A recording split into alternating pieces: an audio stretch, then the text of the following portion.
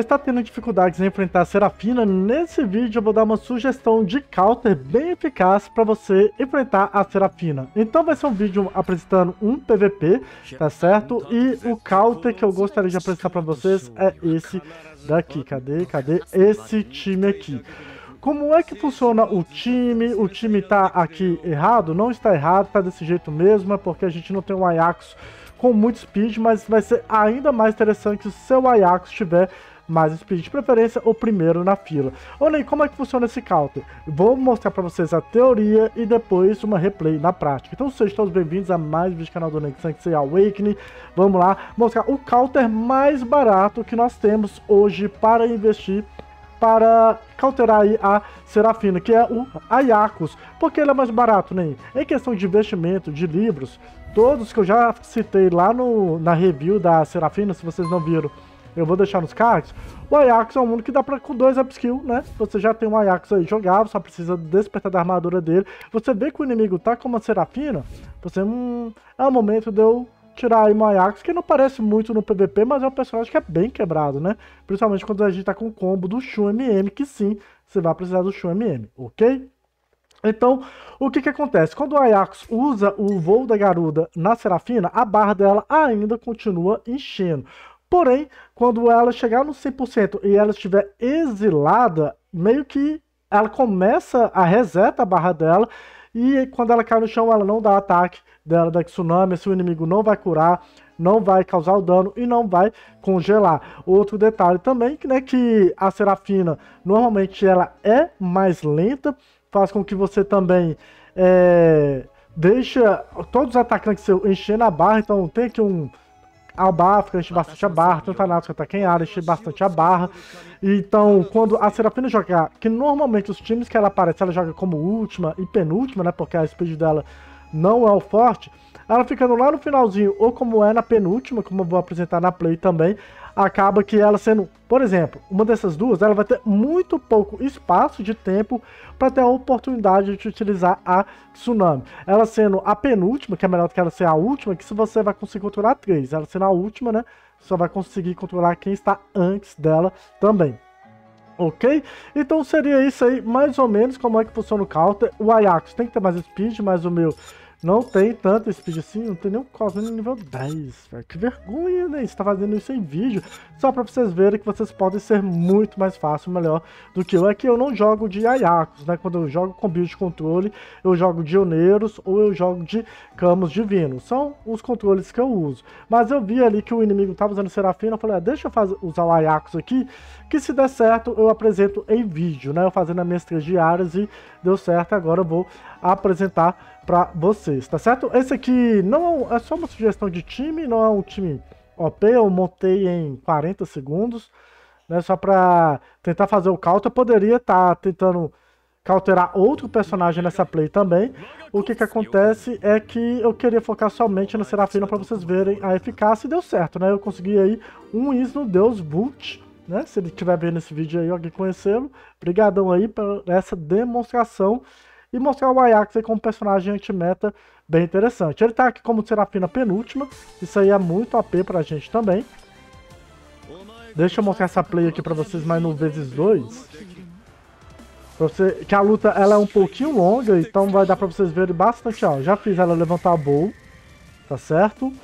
Nem sempre vai dar certo, porque depende aí da sorte da barra, por isso que é muito interessante. O Ajax é o primeiro e a Serafina será a última da fila, que ela é a penúltima, só tá depois do Oneiro, já tem esse intervalo do Oneiro, Saori, e aí o Ajax vai atacar para encher a barrinha dela, que nem sempre vai dar certo. Então o cara tá tentando usar de sangramento ali com o Doku, mas ele bufa o Thanatos pra diminuir meu dano também, né, do meu Thanatos e tal. Já é, não, o Oneiros resistiu. Então eu ataquei aqui, encheu, deu o voo da garuda nela. Ela tá com a barra completa ali, ó. Dei mais um hit do Shu MM. E aí ela resetou a barra dela. E ela não usará a Tsunami desta vez. Mas vocês vão ver que nem sempre vai dar certo, tá? Mas quando você for avaliar o time do inimigo, vê se a Serafina tá lá no finalzinho, né? Como eu disse pra vocês, vários builds da Serafina ela é usada no final, por causa da speed dela. Mas se ela estiver muito na frente, porque é um time full lento, de Kaish, MM, talvez não seja interessante você usar essa estratégia também. Voltando um pouquinho da estratégia da gameplay aqui também, eu tentei focar o Shun, né, pra ele parar de curar, porque eu só praticamente tinha o dano ali do cano, já que o Thanatos não tava causando dano por causa do Oneiros, né, mas depois ele vai começar a proteger o Shun e aí eu comecei a focar o Thanatos também. Caiu, né, a Serafina, resistiu o Oneiros de novo, só que como eu tenho uma Bafka Mita aí em campo, o Oneiros e o Thanatos dele estão com o dano nerfado. Aí ele conseguiu dar um ataque, tá vendo? Porque o meu Thanatos, acho que ele deu um ataque em área agora, boiei, e aí ela conseguiu dar um ataque dela. O que acontece? Agora ela já tá com congelamento, né? Ela deu um ataque, ela já tá com congelamento. Isso aí é, é zica. Aí ele começou a proteger o Shun, e agora eu mudei o foco. Fui no Thanatos. Eu poderia ter ido no Oneiros também, mas aí meu dano fica muito limitado somente atacar o Oneiros. O cara pode proteger com o Sapuri. Então ainda mantive o meu cano ainda em off, né? Tentei causar dano ali, o Shun MM do inimigo tá reduzindo meu sangramento lá, o Thanas tá com 5 sangramentos que é pra 3. O único que... Aí depois vai ter um momento também que eu vou focar no Oneiros anular o dano do Shun MM, né, com a Ajax, que eu pensei nisso depois, acho que vai ser agora. Aí ela caiu, perdeu o tsunami dela, consegui controlar o Moneiros. Suguei ali o ataque dele, né? Nem sei porque eu fiz isso, mas enfim. Só pra dar uma sobrevivência a mais aí, não sei. Aí ele já protegeu o... Como é que fala? Olha lá, como vocês puderam ver, protegeu o Thanatos. Só que aí o Shun ficou desprotegido, que era o que eu queria. Aqui ele já tá com o nerf da, do Albáfrica, da cura e tal.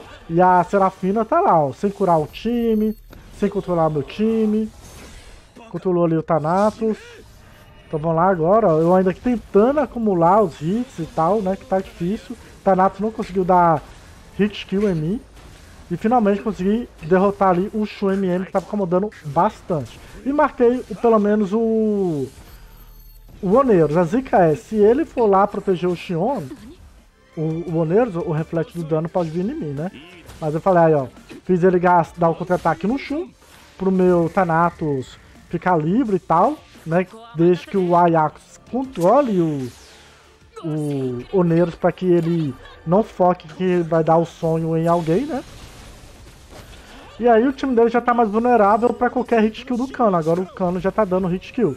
E aí ele vai desistir também, porque é questão do Cano ficar matando um por um agora, né? Todo mundo desprotegido aí e a Serafina mostrando aqui os dados da luta. A Serafina fez nada, né? Não curou, ela não controlou ninguém, ela só deu um ataque que foi equivalente a esses é, 103 mil que ela causou em uma única tsunami.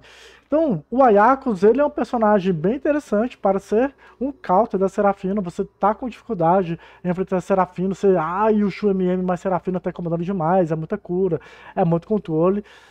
Você tem que fazer alguns testes. Você vai para você pegar o feeling, né, de ver a fila do. ver a serafina do inimigo, ver se vai estar tá propício, né? Deixar o Ajax de preferência bem na frente, o Ajax bem rápido, para que não tenha esse intervalo tão grande, né? Do, da Serafina cair para o chão e o Ajax levantar voo dela para não ter aquele, o intervalo de encher barrinha e dar tsunami. Que mesmo que você fique controlando ela demais, ela dando a segunda tsunami, ela já pode aí, quebrar seu time. É, congelando e tal, que é a imprevisibilidade que a Serafina oferece nas lutas, tá? Então a Serafina tem vários counters. Talvez, se eu conseguir mais plays aí counterando Serafina, eu trago mais vídeos para vocês. Desta vez foi o Ayakos. E comenta aí qual é o seu counter favorito para enfrentar a Serafina. Deixa aí nos comentários. E até o próximo vídeo. Valeu e fui!